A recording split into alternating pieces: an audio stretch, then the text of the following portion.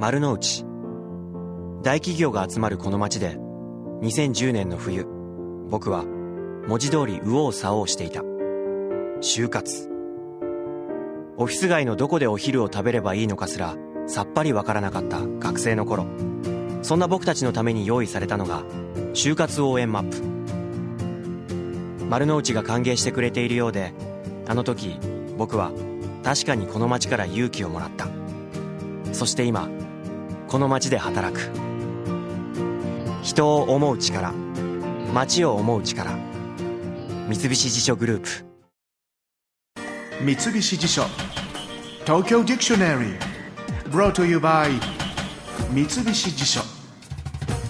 東京の今をキーワードから切り取る。三菱地所。東京ディクショナリー今週のこの時間は東京の街と音楽をテーマにお届けしてまいります今朝はですね毎日耳にしているという方も少なくないと思いますよ。駅メロでございます。キーワードはネオ駅メロ。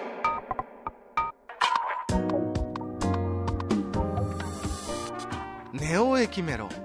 説明しましょう。電車が発車する際に流されるメロディーは駅メロって呼んだりしますが最近導入する駅増えてきましたよね。街にちなんだ歌だったり駅や街にゆかりのあるアーティストの曲だったりバリエーション豊かな東京の駅メロ。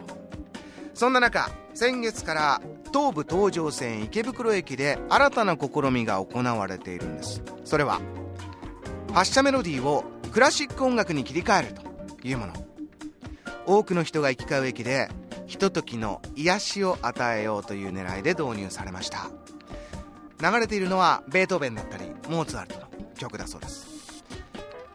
このクラシックの音楽のイメージを損なわないようにあえてアレンジは行わないということですが利用者の間では好評を把握しているそうですよ。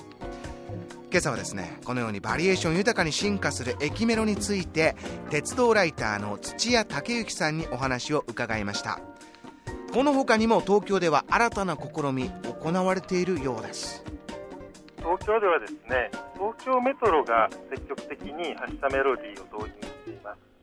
最近では5月から東西線に発車メロディーが順次導入されております。で現在も積極的な展開を続けておりまして今後ですね銀座線の三越前から渋谷の間ですとか日比谷線千代田線半蔵門線などにも発車メロディーが導入される予定になっています。で現在ですね9月30日締め切りにおきまして、えー、発車メロディーのリクエスト募集の企業が行われます。これは一般からその駅にふさわしい発車メロディーを広く募集するというものでしてその中で良いものが採用されるということになりましょう。発車メロディーを広く募集して決めようということなんですよね。これは楽しいですよね。やっぱり自分の好きな曲だったりこのミュージックシェアみたいなもんですよね。これでちょっとみんな電車乗ろうよ電車待とうよ。いいな。そんな駅メロですがそのルーツは1990年頃まで遡ります。当時はオリジナルメロディーを有名作曲家に作ってもらうことが多かったそうなんですがその後耳なじみのある童謡だったり J-POP が多く採用されるようになりました。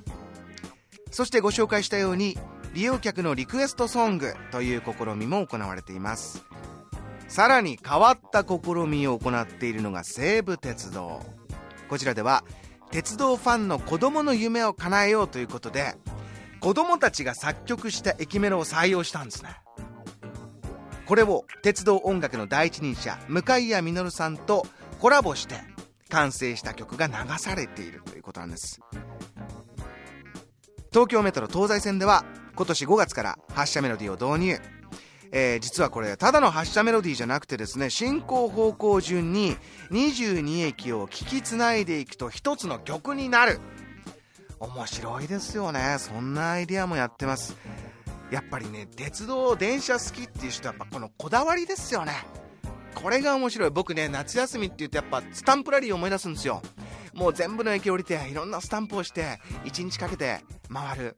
その時にメロディーにも注目するとこの夏楽しいんじゃないでしょうか。